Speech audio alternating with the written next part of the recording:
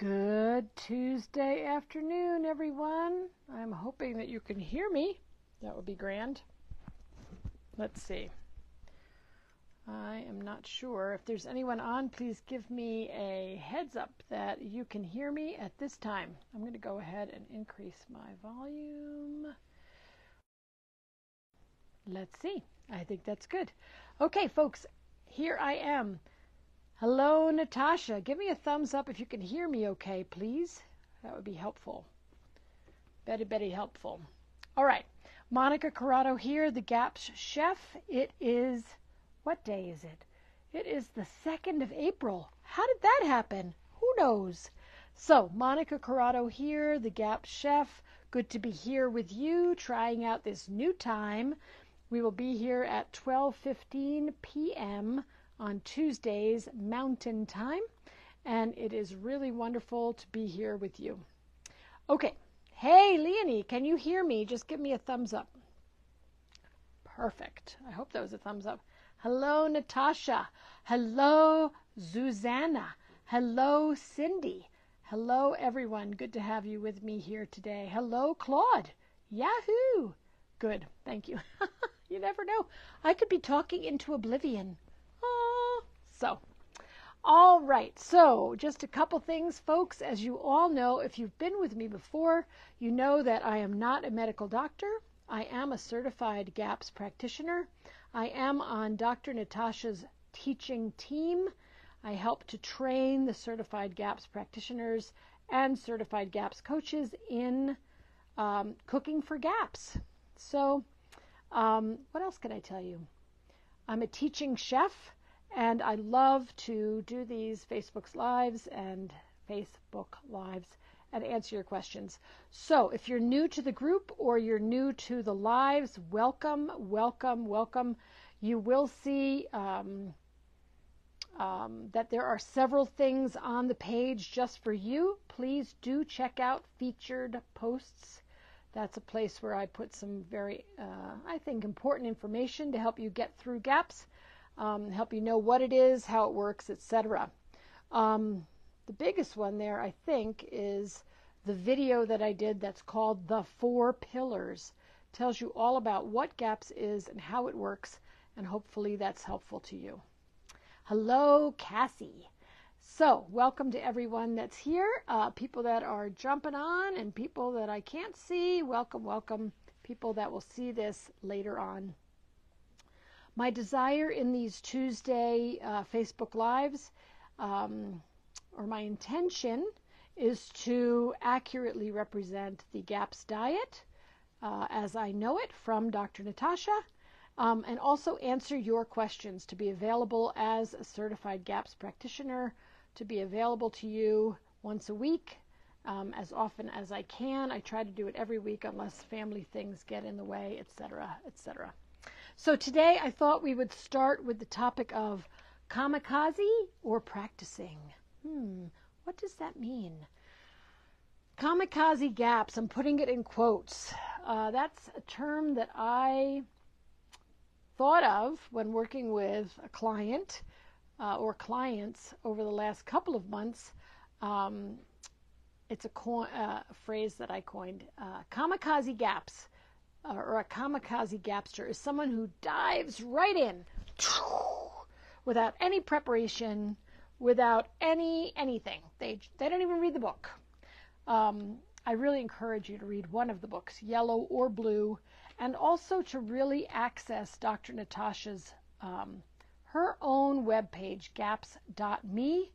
She has a lot of information about what the diet is, how it works, um, where to find a certified GAPS practitioner, where to find a certified GAPS coach, um, all sorts of answers to all sorts of questions. Just really, I encourage you to jump there. All right, so please do read something before you start. So, a kamikaze gapster, this is my term. It just means someone who jumps right into gaps, who um, who hasn't done any preparation, um, in terms of learning how to make meat stock or learning how to make uh, ferments or sourcing clean meat or sourcing clean eggs or or sourcing raw milk or learning how to culture dairy, right? So I guess there's actually different stages of kamikaze. One of them is the person who really, as I said, either doesn't read the book, really bad idea, um, or doesn't do these things, right? They don't learn how to make meat stock before they start intro. They don't learn how to make ferments. They don't make any meat stock. They don't make any ferments. They don't do any preparation. That's one type of kamikaze gapster. They do, they jump into the diet and they don't know what they're doing. They're flailing about. They're asking a million questions on every Facebook forum they can find. They're getting very different answers on every Facebook forum they could find because the majority, uh, well, I'll just say that there's some mm, not really accurate information out on some of those places. Um, so, in any case, and they really are having a hard time of it. I don't suggest starting gaps that way, folks. I I really don't. The second kamikaze gapster is someone who actually maybe they've been on full gaps for a long time. Uh, so they know how to make meat stock, they know how to make ferments, they know how to culture their dairy, meaning they know it's a long culture, it's lactose free, it's homemade, all sorts of things. Um, but but they're still eating a lot of nuts and a lot of seeds and a lot of fruit. Because, of course, nuts and seeds and fruit are all on the full GAPS diet. I mean, they're there. Doesn't that mean you should be able to eat them? Maybe. Maybe not.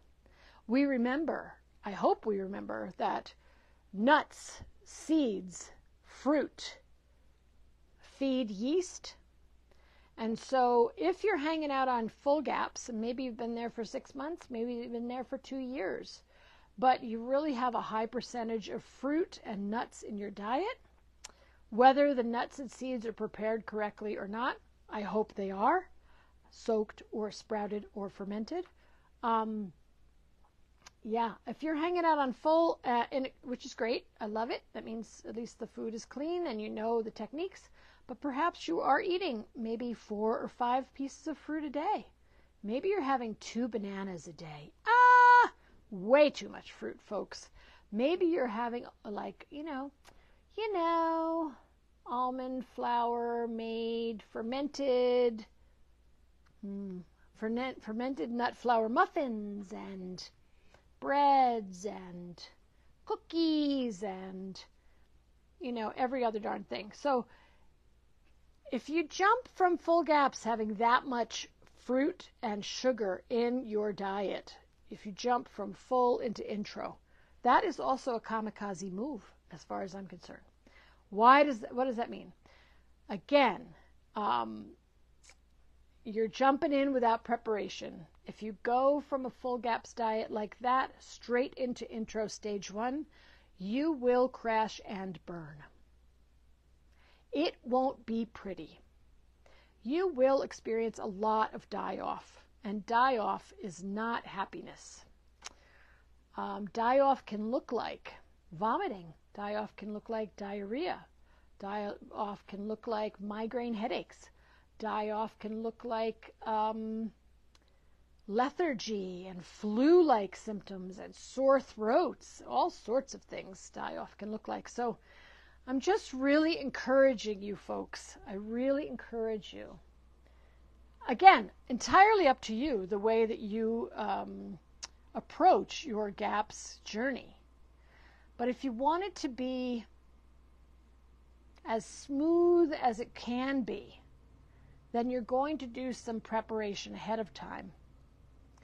So if you are just out there, obviously you're if you're on this uh, in this group, you already have experience with gaps. You've already read the book. Hooray! Good job. Um, you're you've already um, experienced healing. We do hope.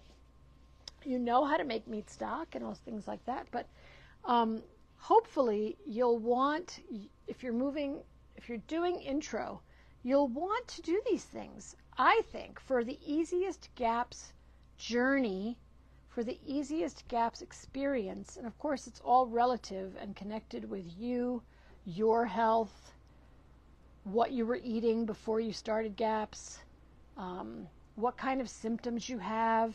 Are they chronic? Have they been around for a long time? How many do you have? Right? Like, how well are you when you actually start the GAPS diet? So, if you want to have the easiest GAPS journey, I believe, that you can have, you will want to do what we call practicing GAPS. Practice it before you move to stage one. Hello, Monica. Good to see you. Hello, Giuliani. Hello, Rebecca.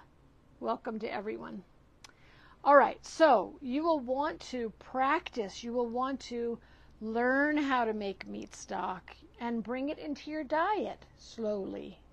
You'll want to learn how to make ferments, meaning fermented vegetables like sauerkraut and vegetable medley, which is made with kefir whey, and beet kvass, you will want to learn how to do these things and slowly bring them into your diet. You will want to learn how to make cultured dairy, make long cultured yogurt, long cultured uh, cultured cream, right? Long cultured kefir or kefir. Yeah, you'll want to learn all of these things before you go to stage one. Because stage one can really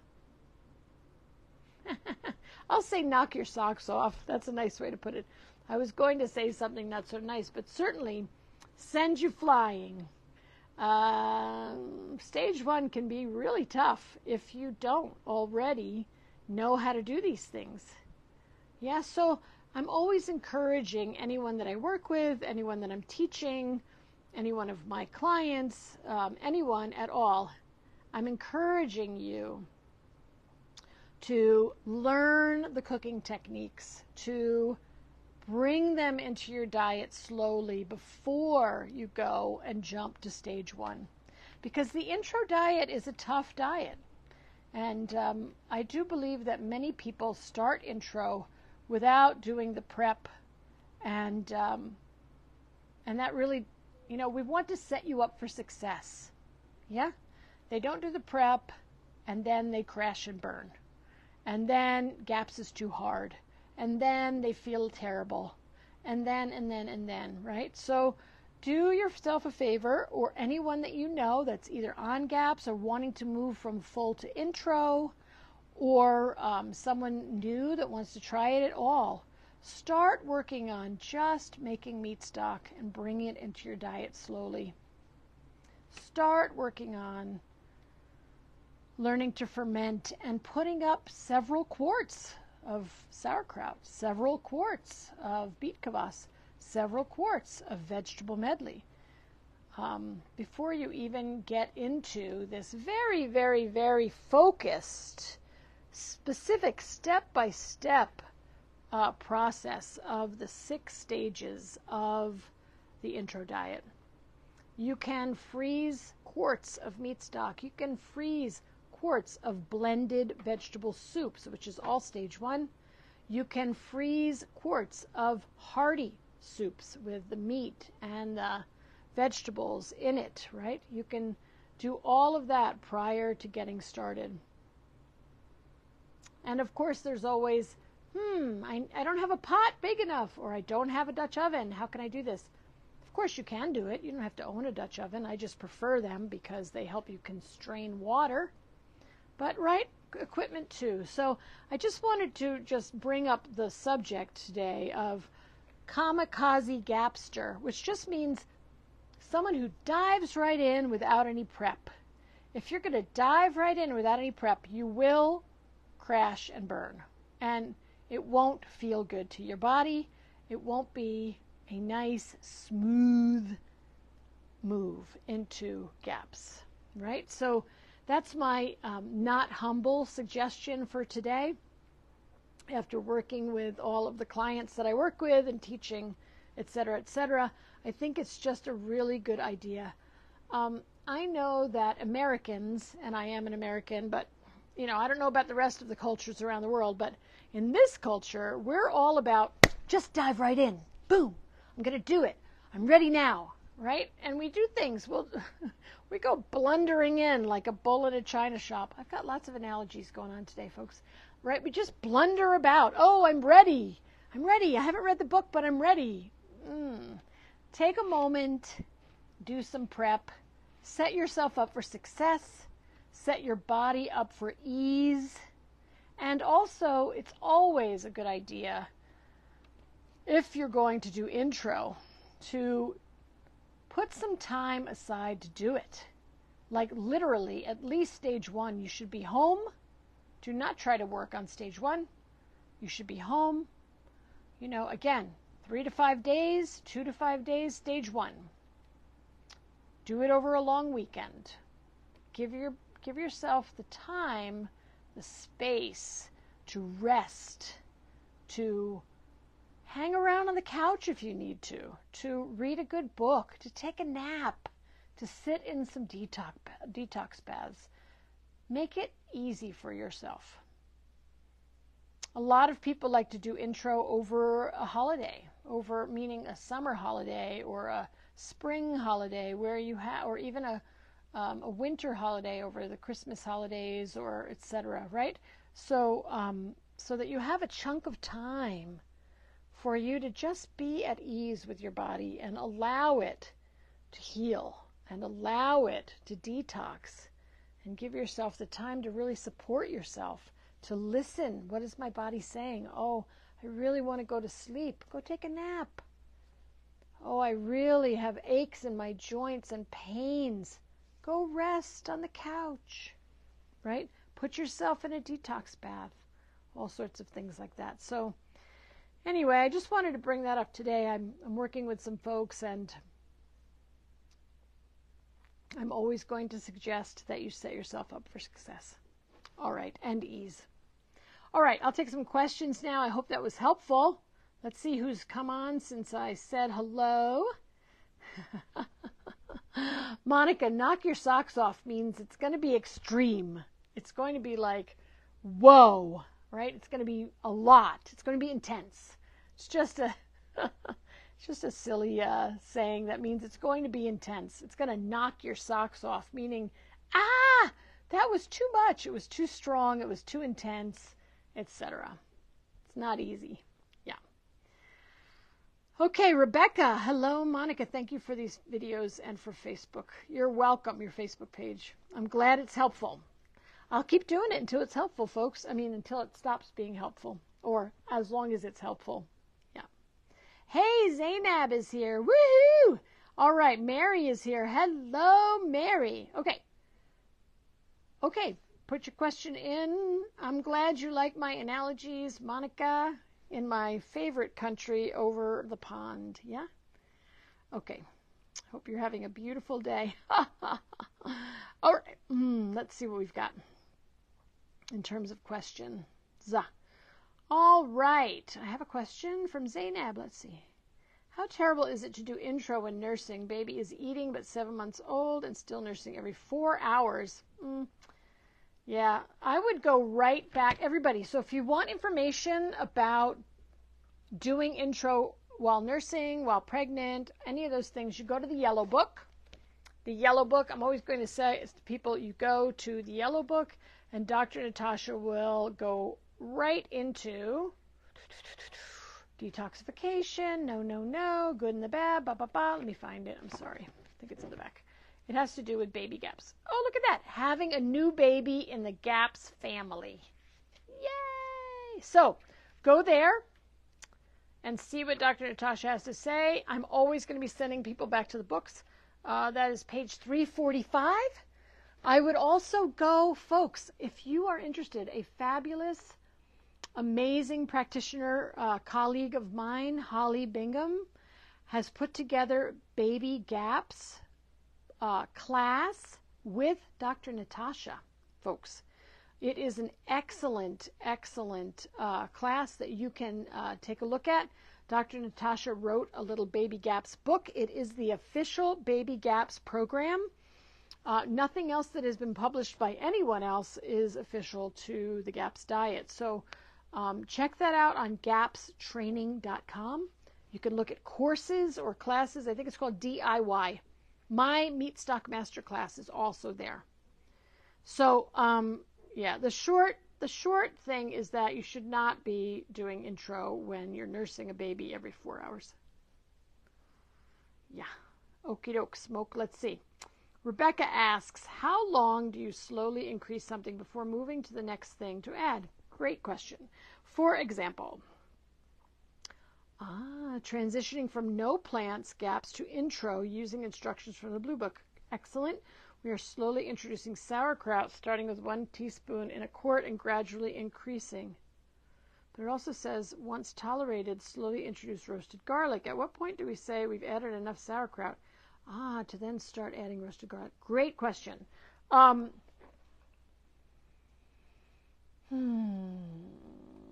So let's go back to why. Mm, mm, let's go back to the challenge in moving from no plant to uh, intro.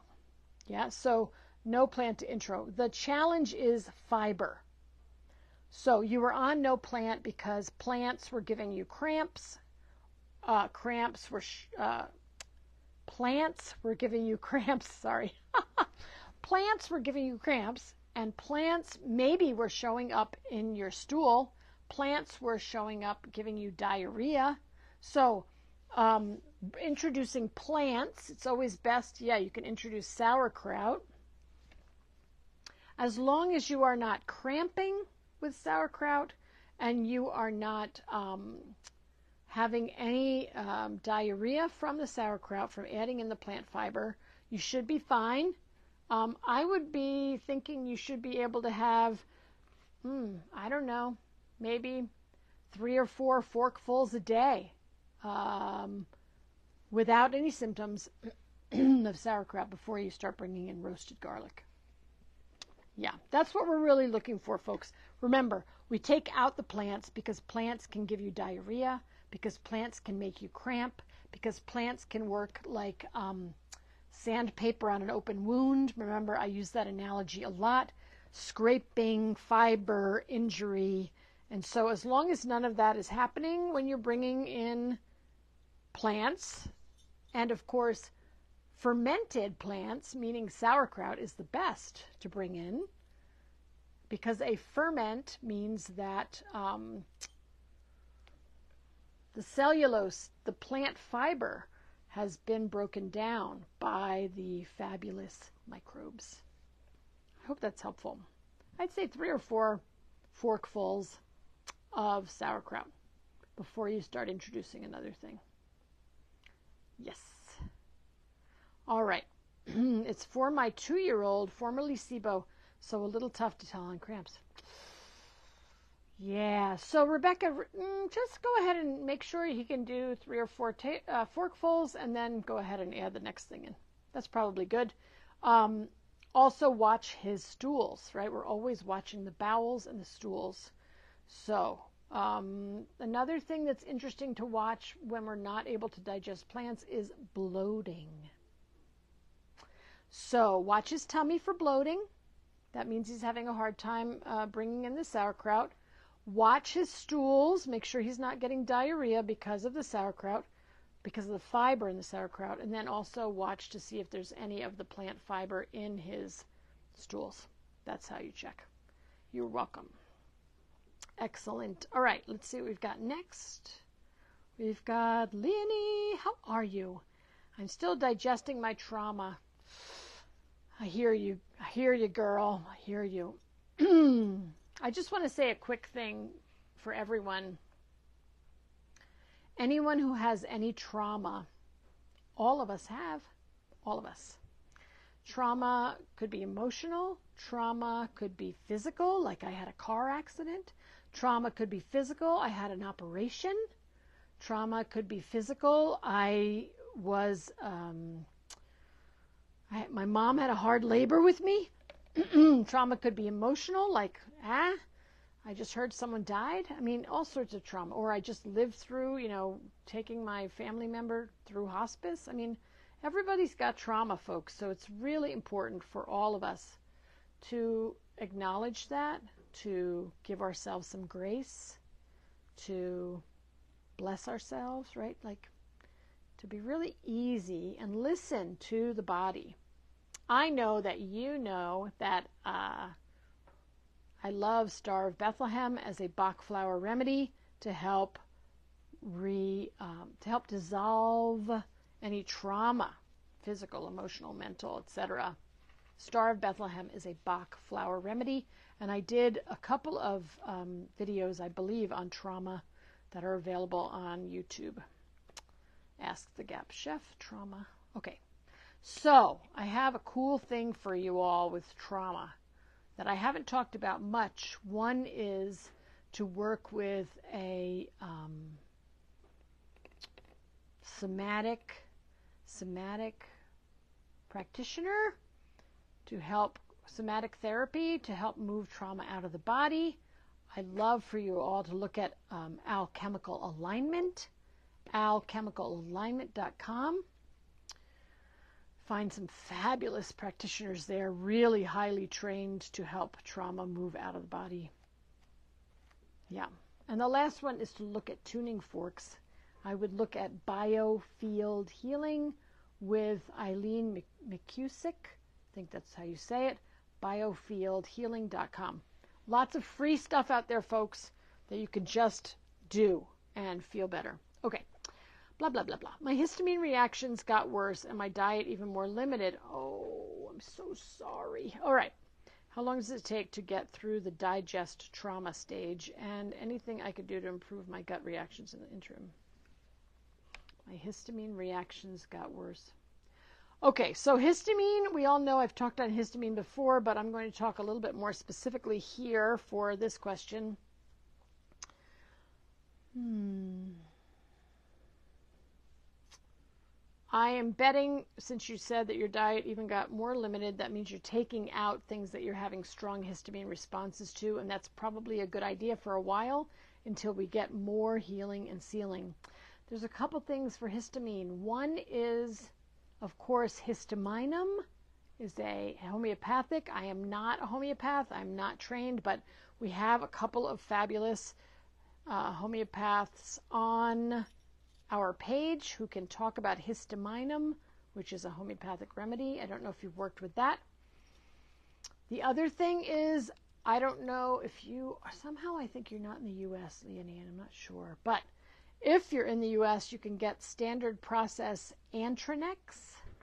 Antronex is the best thing I know to help the liver clear histamine. So let me know. Hmm, I should write that down for people. Antronex, hold on. La la la la, Antronex. Standard process, Antronex. Mm, the other thing is I'm going to say something that's probably going to be a little bit, mm, you know me, I kind of live on the edge. A little bit, I don't know. It's going to shake people up. but um, you may want to look at your stomach acid, and you may also, yeah, you might want to look at your stomach acid, and you may also want to look at your pH, meaning, um, yeah, just make sure your stomach acid is high enough Antronex, A N T R O N E X. It is actually um, beef liver fat. That's what Antronex is. It helps to decongest, um, mm, better word, dilate, uh, we'll do decongest, decongest the liver and the hepatic vein so that uh, the bile can flow and also so that the histamine clears the body faster. That is not a GAPS supplement. It is a Monica supplement, something that I use with my clients. It's an excellent, excellent um, histamine clearer. All right, let's see. Uh, okay, let's see, let's see, let's see. UK. Yeah, I don't think that you can find Antronex. They will not ship. Uh, but I would look at those two things Oh no, Star of Bethlehem, don't be scared.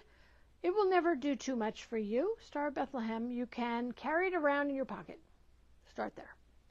You you could carry it around in your pocket. You could sleep with it under your pillow. You could um, put two drops in a quart of water and sip on it all day. Just gently, gently, gently with the Star of Bethlehem. You don't have to be concerned. It, my experience and my understanding is that um, flower remedies will not do more than you are calibrated for. So it will meet you exactly where you are, and then it will help you exactly correctly. So don't worry about that. Good, good. Good, good, good. Hello, Marion is here. Hello, Marion. Good to have you. All right.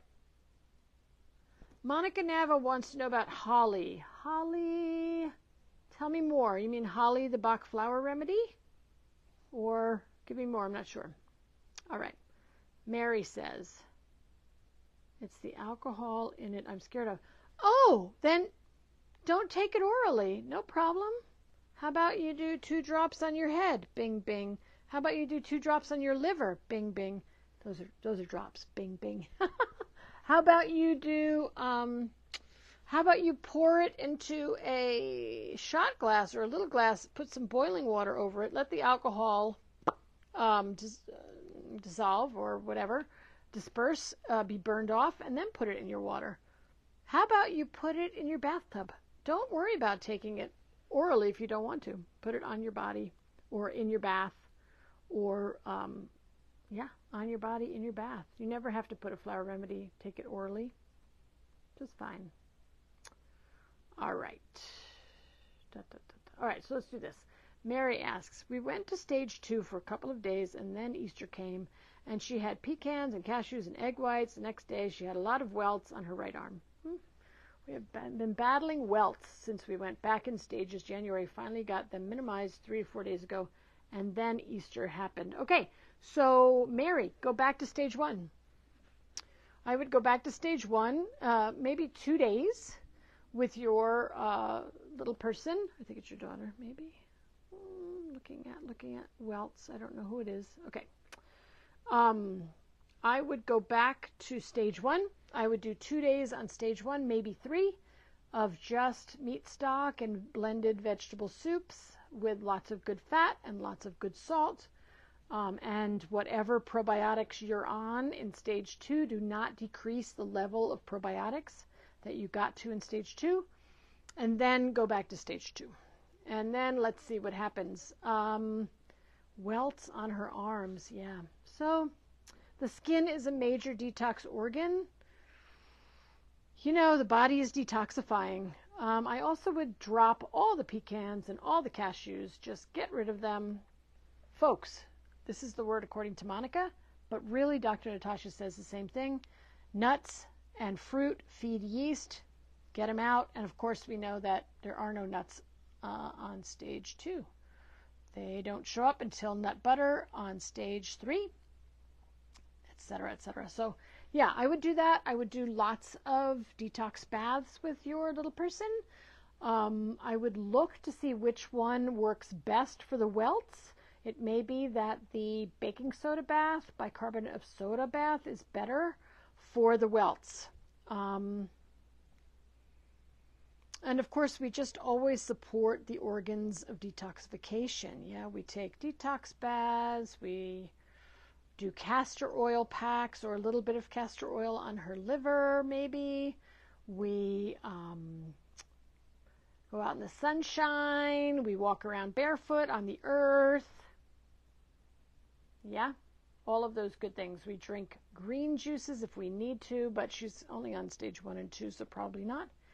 Um, yeah, I would do that. You can also try things for the skin, folks. Um, you could try topically a bicarbonate of soda paste with a little bit of water. Put it on at night. Try it on one welt. I wouldn't put it all over this person, all over your daughter, but right. Or you could put um, cod liver oil, fermented cod liver oil on the skin. It's a fabulous thing. See how that works. They disappear in a few, in a day or two. Hmm. Yeah, that just means yeah. I got to tell you, folks. Hmm, I'm trying to be sweet, but you know, I'm a little bit bratty because I am a Jersey girl an East Coast girl born of New Yorkers who's got a strong, you know, Italian background. Um, so I'm going to be a little bit straight with you.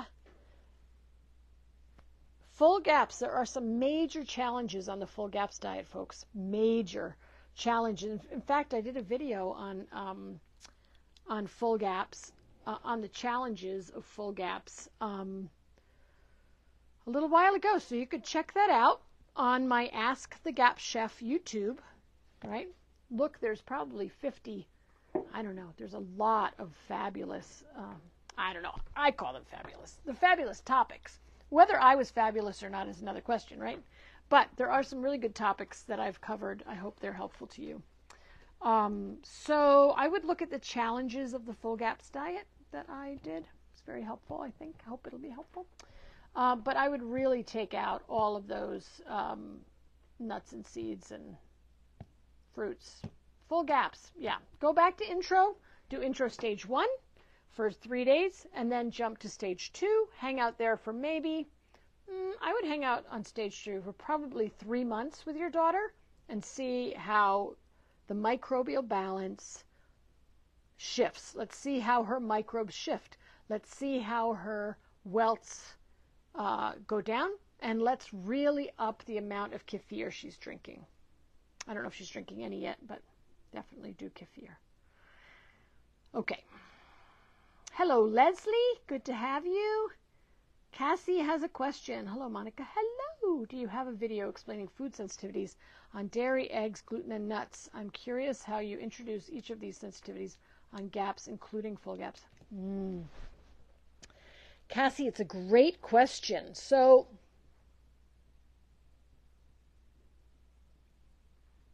There is no gluten on the GAPS diet, so let's just throw that out because we're not going to introduce it. Um, we can start looking at gluten after we've been on GAPS for at least two years and all of our symptoms are gone. So that's that. In terms of food sensitivities on dairy, eggs, and nuts, um, I don't know that I have a, but that's a great, maybe we'll do that next week. How about that? We could do that next week on the on the Facebook Live. The the reality is like the short answer is that the short answer is that gaps will in the majority of cases and the majority of people heal the reason why you have those sensitivities that's why gaps exist. That's one of its greatest. I mean, that is the gift of gaps. I mean, there's a million gifts of gaps, but um, certainly one of the biggest ones is that when you heal and seal the gut with meat stock, you um, your sensitivities go away. The reason you have the sensitivities is because you have a leaky gut, right? The reason we have sensitivities to these foods is that we have a leaky gut where our our um, GI tract, our small intestine, has uh, holes in it. I mean, you're not whole like you're dying. Well, yeah, you are dying. Oops, sorry. We're all dying. Sorry. um, but your GI tract is, uh, let's just say it this way: you have increased intestinal permeability. You have what's called a leaky gut, and so molecules that are not supposed to get into the bloodstream are getting into the bloodstream and you your body's reacting that's what it's supposed to do um, it's saying hey we got a problem a food sensitivity is saying hey we got a problem we have a leaky gut here somebody pay attention because if we don't pay attention you're going to have more sensitivities now you're going to be sensitive to this and that and 137 million other things so that's an exaggeration, but you know what I'm saying. So let's go ahead and heal and seal the gut. And um, when we do that, then the sensitivities go away. Yay! Oh, wow, look at that. I'm doing something cool. I like this. Where did that come from? I don't know. but that was fun. I should do it again. Um, I really suggest that everyone who's on my little page and everyone that's on Facebook trying to do gaps goes and looks at my video called um, Gaps Basics The Four Pillars. The Four Pillars, because the Four Pillars will explain to you, Cassie and everyone, what GAPS is and how it works. Right? So that would be helpful. And also, you have sensitivities. Those are my those are not bunny ears. Those are my quotes. You have sensitivities to dairy. Um, those are usually lactose problems. So once you start using, eating, making homemade, and then eating um, lactose-free dairy, you don't have a problem. So, yeah. So in any case, um, again, I'm not talking about anaphylaxis here, although we have had many, many, many people resolve anaphylactic allergies after doing the GAPS diet. But we don't ever try to introduce foods that you have an anaphylactic reality, uh, anaphylactic allergy to. We don't try to introduce them on GAPS. But yeah, um, do GAPS, and then we'll try to introduce these foods um, the ones that you have sensitivities to. And also, if you have quote unquote dairy sensitivities, the dairy introduction structure, folks. Hmm. Let's talk about that for a moment. So, the first thing you do if you have problems is uh, with dairy or have um, difficulties with dairy is that you will um, take all commercial dairy out of your diet for four to six weeks nothing from the store because you have to clear out the toxins from commercial dairy and then do the dairy introduction structure, which is outlined in the yellow book, outlined in the blue book, outlined in my, outlined in my book, etc. Okay, unless you have already done a Facebook Live on severe bloating and cramping. Of course, I'm happy to do that, Monica. My my name friend. Okay, bloating and cramping.